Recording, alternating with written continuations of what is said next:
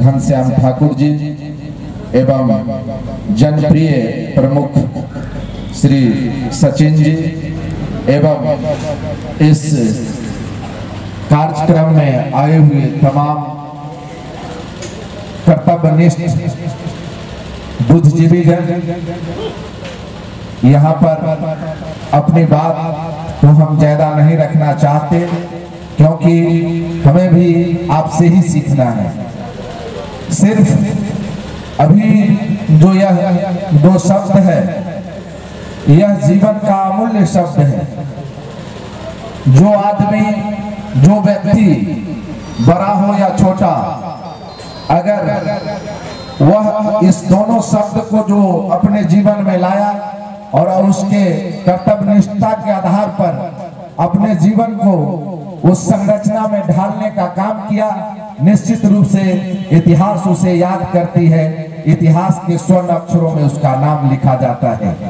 यह कोई ज़रूरी नहीं, यह कोई व्यक्तित्व और विचारधाराएँ और सिद्धांत। इन सारा चीज़ों का निचोड़ है यह, जो कर्तव्यनिष्ठ और ईमानदारी, यह दोनों चीज़, दोनों में अनुनाश्रय संबंध है। इस संबंध को जो अनुपूरक बनाकर चलता है, निश्चित रूप से जीवन पर्यंत और आने वाले दिन में भी हम लोगों के बीच उनका ऐतिहासिक क्षण रहता है, हम उन्हें याद करते हैं। इसीलिए इस पट्टी के ऐतिहासिक धरती पर, मिथिलांचल के इस हृदय स्थली पर निश्चित रूप से हम आप तमाम बुद्धिजीवियों का निश्चित रूप से हार्दिक अभिनंदन और स्वागत करते हैं।